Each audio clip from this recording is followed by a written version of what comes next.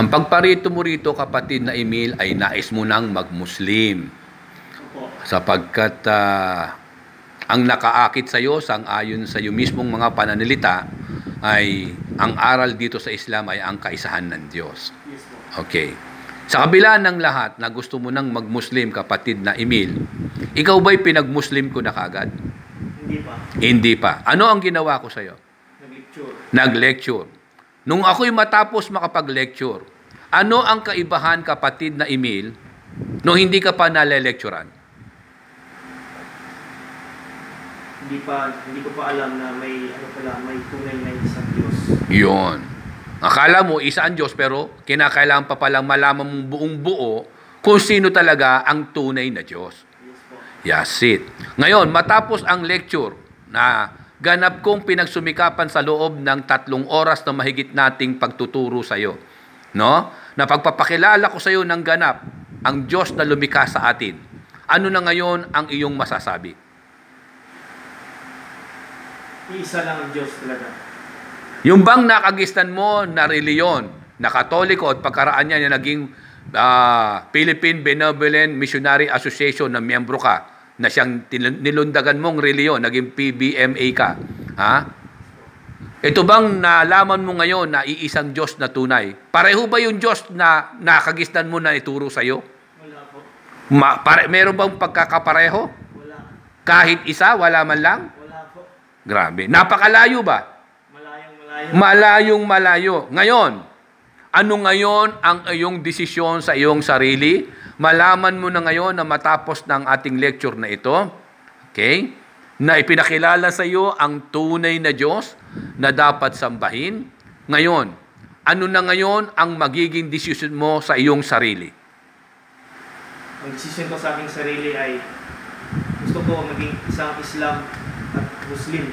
Grabe. Ah, grabe. Kasi natut ah, kasi nalalaman ko na ang tunay na Panginoon na siya pala ay isa siya ay tunay na isang Diyos at may atas sa kanya. Allah. Na walang na walang ah, isa lang walang pangangailangan, ah, walang pangailangan, walang anak, walang katulad. Allah. Ngayon. I, subhanallah. So yan ay taos na sa puso mo na handa mong suungin at paghawakan ng mahigpit ang aral na yan hanggang sa huling hininga ng iyong buhay. Wala na bang pag-aalinlangan sa iyo ang Diyos na ipinakilala sa iyo sa Islam? Wala na po. Buong buo na ito na ba talaga ang inahanap mong pananampalataya? Yes po, buong buo hanggang kamatayan po. Allahu Akbar. Subhana Rabbil Alamin. Allahu Akbar. Okay? Ano nga pala ang trabaho mo, kapatid na Emil? Isang siman po. Isang seaman, international seaman. Yes po. Okay. So, talagang, ah, kumbaga sa ano eh, talagang hindi pangkaraniwan, isa palang professional seaman ang ating kapatid na Emil Badjamonde. No? So, hindi na kita ahadlangan kasi ikaw ay pinagsumikapan kong ipaliwanag sa iyo ng buo ang aral ng Islam. At kitang-kita ko naman ang determinas- determinasyon mo na yakapin ito, kapatid. Kaya kasama ang ating kapatid na si ah, Abdul, okay? Ay ah, mula sa ibutunan ng puso mo, ikaw ay manunumpa. Yes po. Okay? At ang panunumpang ito ay sasaksihan ng mga kapatiran sa buong mundo. Dahil abang ikaw ay nanunumpa, bibidyohan kita Yes po. para malaman ng mga buong mundo, na lahat ng Muslim sa buong mundo, ay meron silang isang bagong kapatid na ang pangalan ay Emil Chan Bahamonde. Okay? So, ito ay wala ng atrasan, kapatid na Emil Chan. Wala na po. Talagang matigas talaga ang desisyon. Yes po. Buong buo. Yes po. Wala nang talagang ano pa mang mga balakid. Wala na po. Wala na. Wala ni katiting na alikabok na pag-alilangan. Wala na po. Talagang ito na ba talaga yung ikangay, hinahanap mo talaga na tamang pananampalataya. Yes po. Yes po. Ah, grabe pala talaga ang determinasyon. Ha?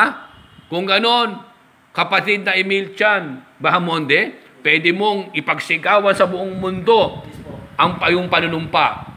Okay? Sabihin mo ng buong puso ang salitang ito. Asyado Asyado.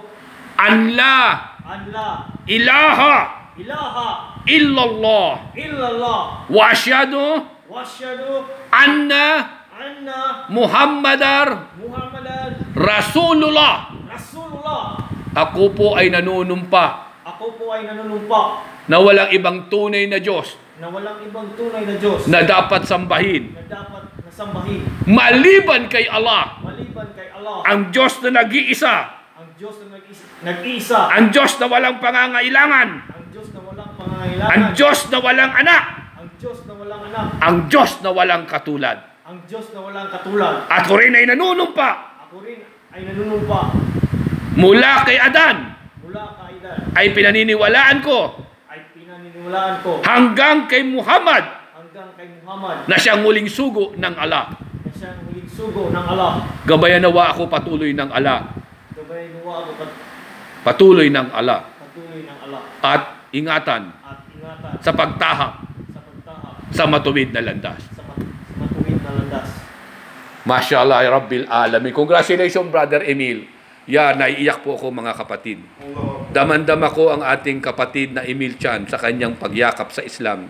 No po, talagang deter- determinadong determinado nang yakapin niya ang Islam. Ito pala ang reliyon na kanyang inahanap. Mula sa pagiging katoliko, lumandag siya sa PBMA.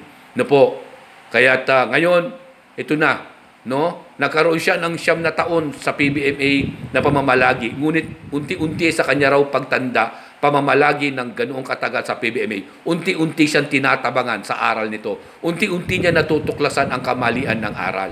Ngayon po, kaya niya niyakap ang Islam. Ito na ang matagal niyang pinakahanap na pananampalataya na ang Diyos ay tunay na nag-iisa. Ang Diyos dito ay Diyos talaga mula pa sa panahon ni Adan. Naunawaan niya ng lubos na ito pala ang Diyos na lumikha sa kanya at kanyang sasambahin hanggang sa kanyang muling araw. Kaya tayo po ay uh, inshallah ay batiin ang ating kapatid sa kanyang pagyakap at tanggapin siya ng buong puso bilang ating kapatid na Muslim. Congratulations muli, kapatid na Emil Chan. No? At yayakapin ka muna ng iyong brother, ay ya Rabbil Alamin, ang ating kapatid na si Abdul. Tinakap niya ang ating brother sa at buong puso niyang tinanggap na bagong kapatid. Ano po? Okay? So, mashallah, ganito po ngayon ang kaganapan dito sa ating tanggapan, Way to Peace. Ito po ang inyong ustad, Ustad Ahmad Barcelon. Tunay, mga kababayan, kapag kayo ay naghahanap ng matuwid, wal ang reliyong walang pag-aalinlangan, reliyon ni Adan, reliyon ni Noah, reliyon ni Jacob, reliyon ni Solomon, reliyon ni David, reliyon ni Yesu Kristo, reliyon ni Muhammad sallallahu alaihi wasallam ay iisa lamang.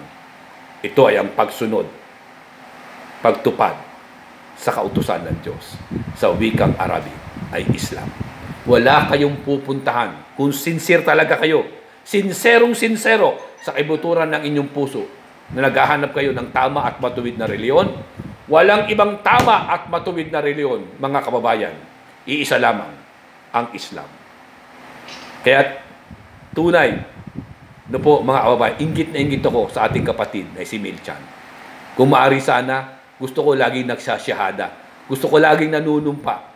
No po, minu-minuto gusto kong manumpa na meron lamang iisang Diyos. Na meron lamang iisang Diyos na tunay. Na siyang lumikha sa atin.